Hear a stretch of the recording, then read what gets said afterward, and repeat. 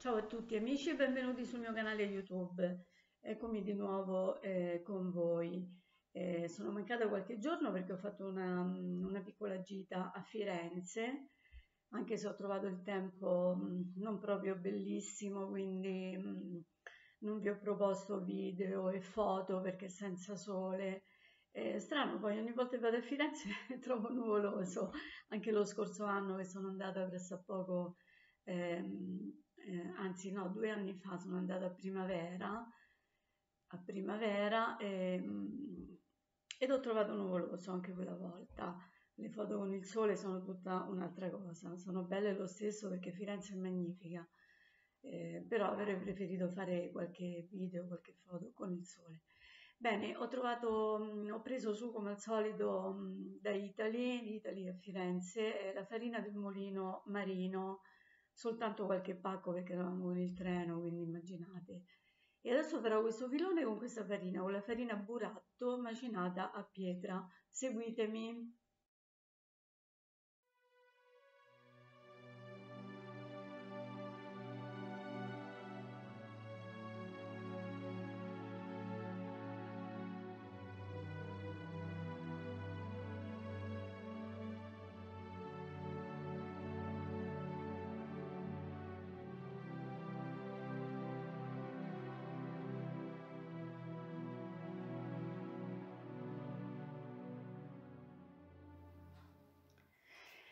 Allora, la farina buratto del mulino marino è una farina rigorosamente macinata a pietra senza aggiunta di additivi o altre cose.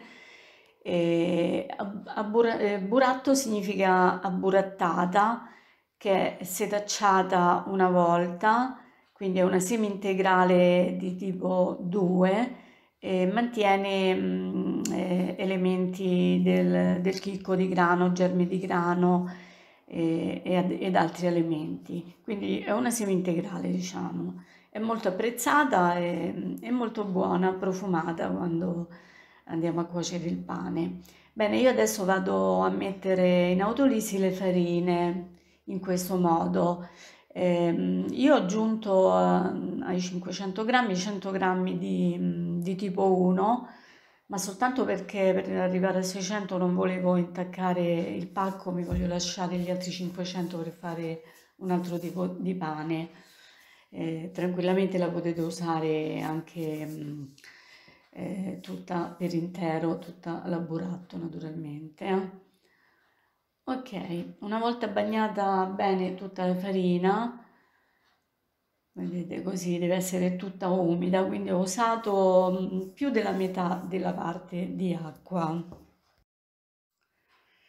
E ci metto passato il tempo l'ho lasciata 30 minuti naturalmente coperta e vado a mettere la pasta madre a pezzettini 120 grammi.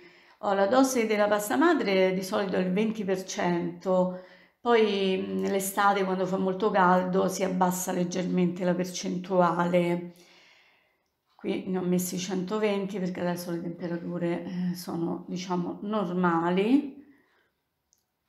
Eh, se volete mettere i licoli vi metto poi nell'info box eh, perché mi fate spesso queste domande, io delle volte lo metto direttamente, delle volte mi dimentico, però c'è una tabella di conversione, quella che usiamo quasi tutti, di lievito madre naturale, del blog Lievito Madre Naturale, eh, usiamo tutti quella che è molto comoda, quindi potete fare tranquillamente la conversione. Allora, come avete visto, mh, mm, sono andata poi a mettere in planetaria e ho messo l'acqua piano piano fino a metterla tutta, l'ho messa lentamente e, e ho portato a incordatura o quasi, diciamo, io non, non strapazzo mai molto, quindi 10 minuti, massimo 15, eh ma quindi sono anche troppi, non è che dobbiamo andare lì a fare il velo, eh?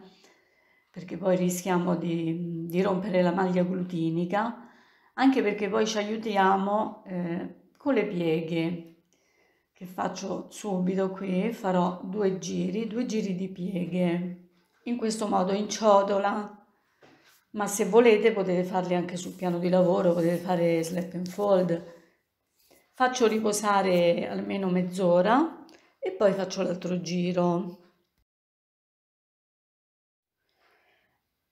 Ecco qua, questo è l'ultimo giro di pieghe. Allora, quando guardate, volevo dirvi questo perché mi arrivano spesso delle domande, anzi mi scuso se non riesco a rispondere a tutte, eh, però siete tante, fortunatamente, quindi qualche domanda mi scappa.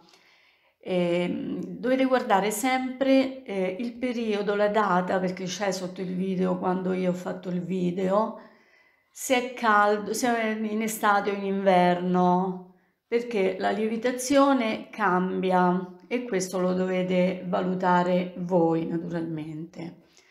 Ecco qua, metto a lievitare per almeno 4 ore. Ed eccolo qua il mio impasto lievitato. È stato all'incirca 4 ore, eh, quando vedete che ha raddoppiato il suo volume, è quasi raddoppiato diciamo, eh, si è gonfiato, potete procedere. Quindi lo verso sul piano di lavoro dove farò eh, altre pieghe. Quindi non mi stanco di ripetere questa cosa, se siete in estate magari anche un passaggio in frigo, perché altrimenti con un'ora, eh, se ci sono 35-36 gradi, eh, cresce troppo, lievita troppo velocemente. Allora allargo un pochino questo impasto come vedete lo sento, lo, si vede anche ad occhio, che è un pochino resistente, quindi io ho fatto il 70% di idratazione, ma forse il 75% andava meglio. Però va bene, io tendo sempre, ho sempre questa cosa, non, non vado a fare alte idratazioni per ottenere i buchi, mi piace più il pane diciamo con gli alveoli eh, regolari, però qui forse il 75 ci stava bene. Faccio riposare mezz'ora, 40 minuti tra una piega e l'altra eh, fino a fare eh, l'ultima piega, quindi farò tre pieghe. Bene, passato il tempo, naturalmente lo copro sempre con una ciotola rovesciata tra una piega e l'altra, eh, vado a formare il filone, voglio fare un bel filone eh, eh, bello eh, lungo perché metà poi lo devo eh, regalare, eh, lo devo dare a mio figlio. A largo, vedete, ma questa penso che sia proprio il tipo di farina perché sono comunque farine tutte e due semi integrali. Allargo piano piano così e poi formerò il filone in questo modo questa volta cambio come di solito faccio diversamente, qui piego leggermente così, scusate ho inquadrato male, ecco qua, premo così e continuo a, piega a piegare, ok.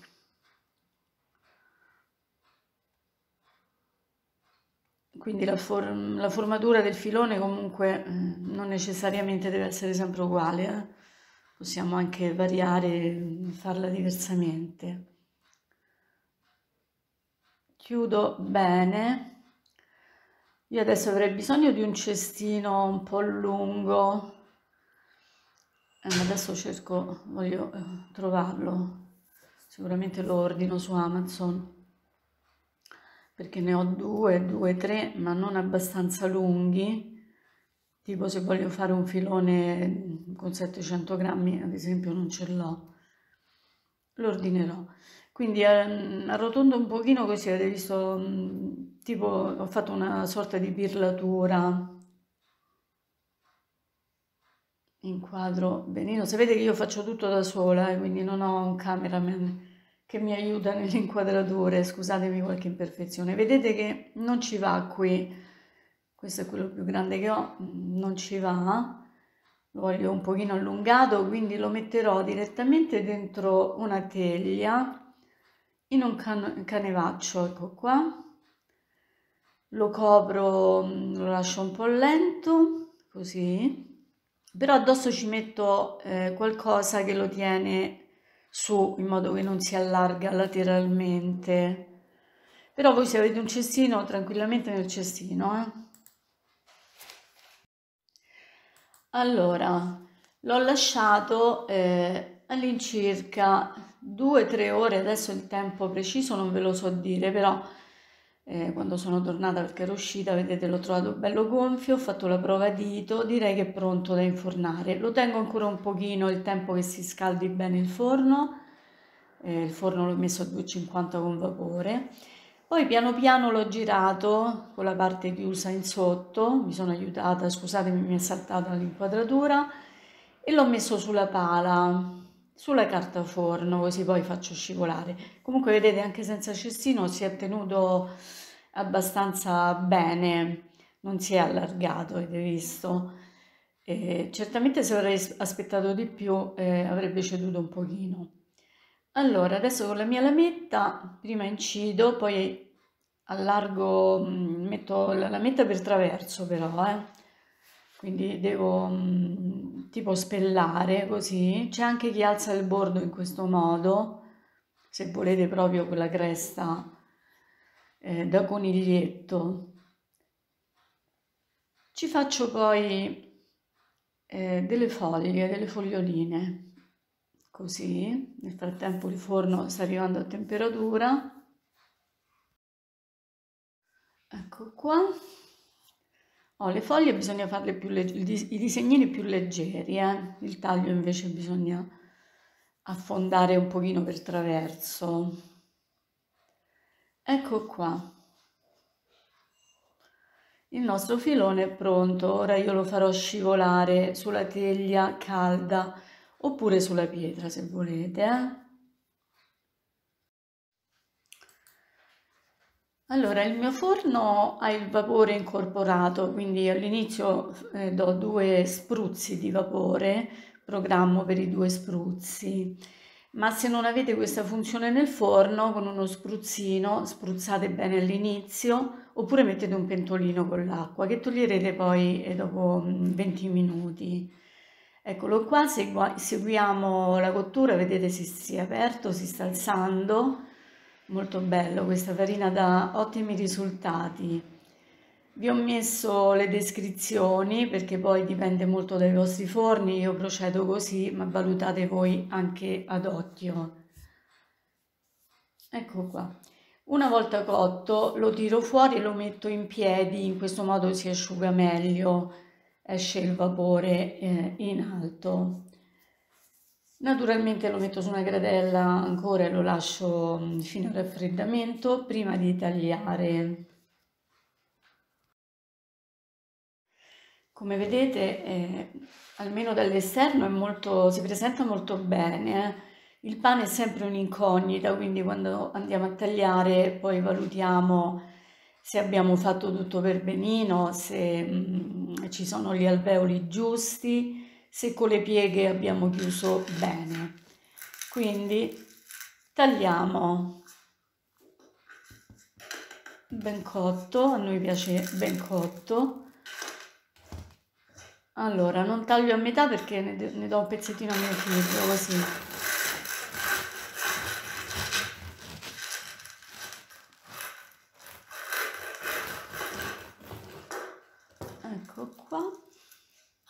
Devo comprare un coltello nuovo. Beh, direi che va bene, per il tipo di farina che abbiamo usato va bene. Eh, forse quel, quel, buco un pochino diverso dagli altri eh, dove ho fatto la chiusura, quindi ecco perché bisogna sempre chiudere bene.